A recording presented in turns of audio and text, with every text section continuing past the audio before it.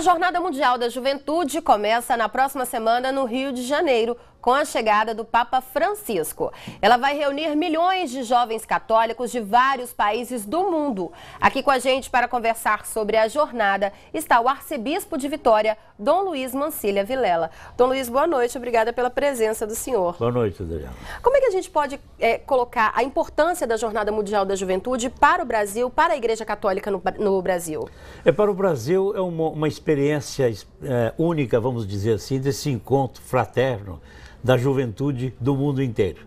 Os jovens que vêm com muita esperança dos outros países trazem a experiência de fé que eles têm e encontram com a nossa experiência de fé. Isso é um enriquecimento espiritual muito grande, um fortalecimento da, da solidariedade, da fraternidade, que é um valor para todo mundo, né? É, a gente vê nesses dias que antecedem a jornada esse espírito mesmo de solidariedade, né? Jovens peregrinos que vieram do mundo inteiro aqui no Brasil fazendo trabalhos comunitários.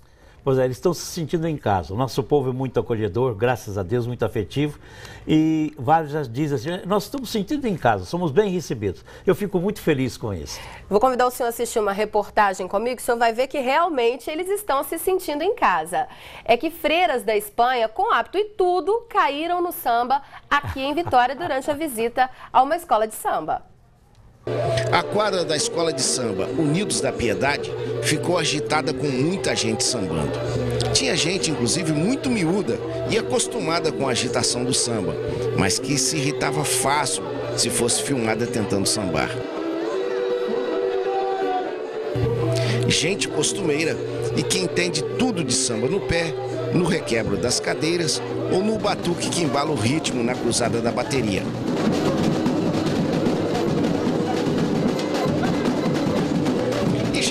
Diferente. Vários gringos da Itália, da Alemanha e da Espanha. Gente que, embora gostando do batuque, não entendia nada de sambar, apesar do grande esforço para entrar no ritmo. E gente raríssima de se ver numa escola de samba. As animadas religiosas e irmãs espanholas.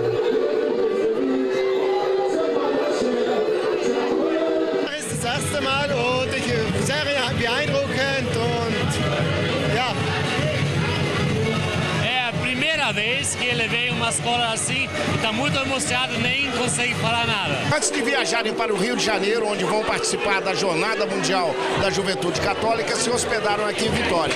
E aqui queriam conhecer uma escola de samba e vieram conhecer a Unidos da Piedade. E queriam também comer uma comida mais conhecida pelos brasileiros. E optaram pela feijoada. E neste momento, eles estão aqui na quadra da Piedade provando uma feijoada. Com muito samba, inclusive. Na hora de experimentar a feijoada, quem nunca tinha comido a iguaria brasileira fez sinal de aprovação. E alguns comeram despojadamente sem qualquer cerimônia. Por que, é que vocês resolveram trazê-los para uma escola de samba? Bem, primeiro porque foi um pedido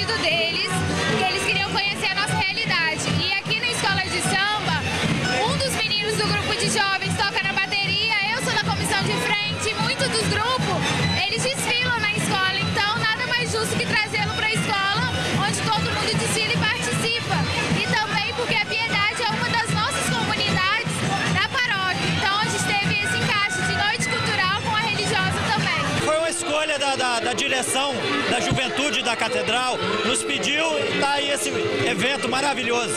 Como é que a comunidade está se sentindo com a visita dele? Olha, para nós esse é um evento, é, vai ficar é histórico para a Piedade. Nós está recebendo o pessoal aqui da juventude, para nós vai ficar marcado.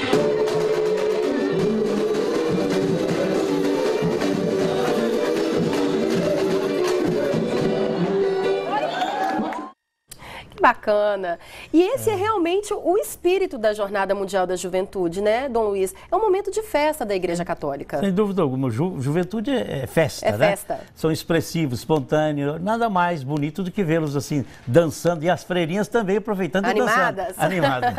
e é isso que a gente pode esperar também do Papa Francisco nessa primeira visita? Eu acredito que sim. Um Papa receptivo. É uma pessoa afetiva. Carinhoso. Carinhoso, latino-americano. Tem o nosso sangue, né? Exatamente. Eu acho que ele vem trazendo uma mensagem de esperança para todos nós, de profunda fraternidade e de humildade. É uma pessoa que vai ficar perto do povo. Dom Luiz, eu gostaria de aproveitar a presença do senhor aqui e perguntar é, para o senhor como é que o senhor vê esse momento que os jovens brasileiros estão vivendo, né? Já que estamos falando de juventude, indo às ruas, reivindicando seus direitos, pedindo por um país melhor. Eu acredito que estamos vivendo um momento muito importante de, de, é, de desejo de mudanças, um país é, que olhe bem para a educação, para a saúde, diversas, diversas questões importantes para a nossa sociedade. É claro que devemos evitar a, a, essa baderneira, essa, essa, essa violência. Vandalismo, é violência, é vandalismo, isso aí não ver, é né? bom. Isso atrapalha essa expressão bonita de querer fazer a, a, ver as autoridades que nós queremos mudanças, queremos melhoria, queremos educação, saúde, mas quebrar as coisas não, isso não. Um outro ponto que eu queria comentar com o senhor, hoje foi divulgado aí o mapa da violência em todo o país e mostra principalmente a violência no Espírito Santo contra o jovem. Nós somos o segundo estado em mortes no Brasil, é uma estatística realmente lamentável. E muito triste. Nós estamos, a igreja, temos, com outras pessoas de boa vontade, temos dizido, falado com a juventude, basta, a juventude está sendo é, martirizada de uma certa maneira, né? e dizemos, basta de violência. E, e violência de todas as partes. A gente espera que quem mantém a ordem, que esteja, seja mantenedor da ordem com respeito, com firmeza, sem causar violência, e aqueles que vão protestar, exigir direitos, que o façam dentro da rua, sem nenhuma violência, quebrando é, é, moradias, lojas. Isso não faz bem, isso atrapalha esse nosso desejo de mudança cansa o povo, muita gente que está apoiando começa a ficar mais triste. Não, desse jeito não queremos, porque nós não queremos bader, nós queremos é, algo novo, nós queremos educação bem dada, nós queremos saúde para o nosso povo, não queremos filas nos hospitais. Né? E eu acredito que há boa vontade em todos. É importante que haja diálogo, que as partes confrontantes tenham coragem de sentar-se né? Já estive com o governador e falou: estou disposto a sentar. Agora, é necessário que haja verdade de ambas as partes para que a gente chegue a um ponto comum e que o Espírito Santo ganhe. Nós temos que parar com essa questão de violência no nosso Estado. É uma vergonha para nós. Agora, voltando aí à Jornada Mundial, o que, que os jovens vão encontrar no Rio de Janeiro? Vão encontrar muita alegria, sabe que o carioca é alegre por natureza, né? Vão ser muito bem recebidos, vai ser um momento de festa muito grande. E um momento de e, fé também, de, né? De fé, exatamente. A de fé, renovar a fé, exato, de fazer ela, um ela, fé vem com junto fé. com essa expressão do coração, da emoção. Eu vi há poucos dias um jovem, eu vou para lá porque quero melhorar a minha fé. É isso que vai acontecer. Por quê? A gente vai ver o testemunho de um Papa que é profundamente sensível e perto do nosso povo. A gente vai ver muita, muita uma manifestação de fé, de, de, de, de, fé viva, né? e isso vai tocar o coração daqueles que estão procurando com sinceridade. E a juventude está procurando. O jovem quer acertar na vida. E o senhor embarca quando para o Rio? Segunda-feira, se Deus quiser, estaremos partindo para lá e vamos ter as catequeses. Eu terei a alegria de me encontrar com muito jovem. Tá certo. Eu gostaria de agradecer a presença do senhor aqui, Dom Luiz. Muito obrigada. Eu que agradeço. Que Deus abençoe a todos aqui. Amém. Obrigada.